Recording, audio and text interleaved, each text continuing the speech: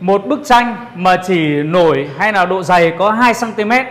thì liệu có đáp ứng được độ kênh bong và luật xa gần hay không? Các bạn hãy cùng xem nhé.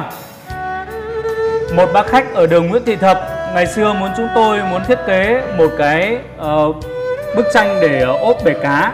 bằng một cái tác phẩm và đặt ra yêu cầu là vì treo ở dưới thấp nên phải tính cái phương án là để không bị va đập và trẻ con nó nghịch thì ờ, sẽ không bị gãy và chúng tôi đã đục chạm đục chạm cái tác phẩm theo cái lối đục hớt. Bởi vì tổng thể cái phôi gỗ chỉ có 4 cm và chúng tôi sẽ đục nổi 2 cm ờ, nhưng không phải vì đục ít mà thiếu đi độ canh bong và cái luật xa gần. Và rõ nét nhất là khi mà bác khách muốn chuyển đổi từ cái chân quây bể cá sang thành một cái tác phẩm tranh gỗ treo tường. Và chúng tôi chỉ cần lắp thêm chiếc khung cộng với lại là trang trí thêm cho bức tranh. Thì hiện tại bây giờ tác phẩm đã có một cái diện mạo mới và điểm xa gần, phong cảnh non nước, tuy mỏng mà vẫn đầy đủ các cái quy tắc về mỹ thuật, tuy cảnh ít mà vẫn có khí chất của một tác phẩm phong thủy thủy mặc